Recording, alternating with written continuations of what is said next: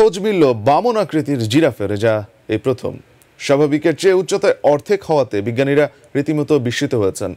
এই আকৃতির জন্য বামনবাদের পাশাপাশি জিনগত সমস্যার কথাও ভাবছেন গবেষকরা।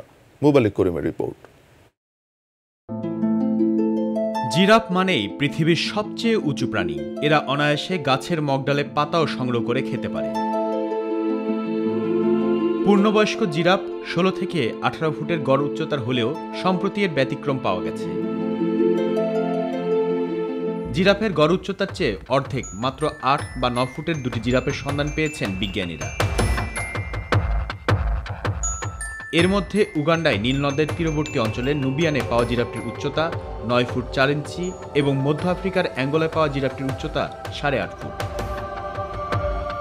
স্বাভাবিক বামনাবাদের পাশাপাশি এসকেলিটাল ডিসপ্লেসিয়া নামে বিরল জিনগত সমস্যা বিষয়টিও ভাবছেন বিজ্ঞানীরা।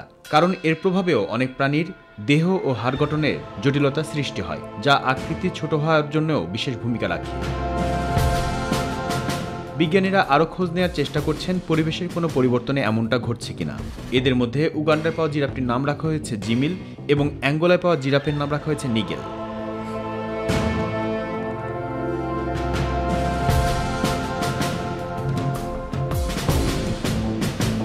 মুবাল্লিক করিম মাই টিভি